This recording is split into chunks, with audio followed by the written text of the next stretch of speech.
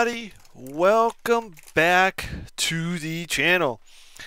In this video I am going to show you how to add the my briefcase option or in modern terms the briefcase option in Windows 11 I did this for Windows 10 and it worked just fine.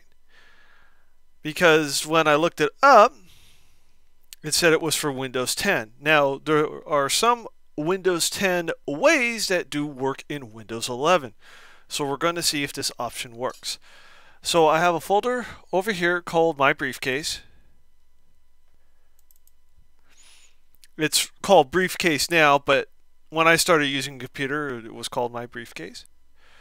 So to prove to you that it is not on here, we're going to go to New and as you see, I have everything except that. So if I click Add,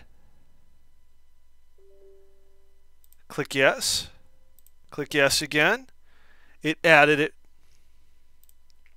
So now, if I go to right click, show more options and new,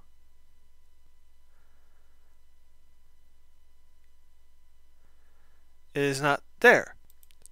So if I do it again,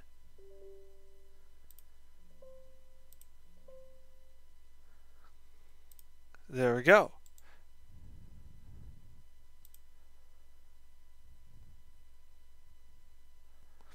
So now I restart the computer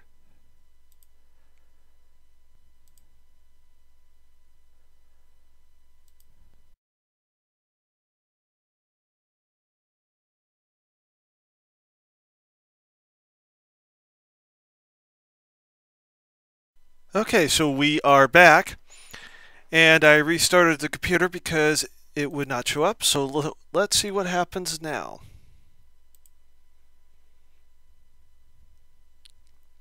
Still did not show up.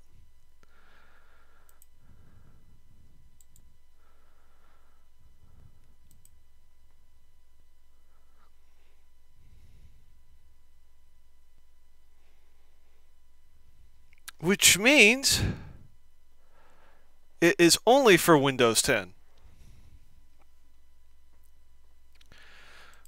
And to prove it,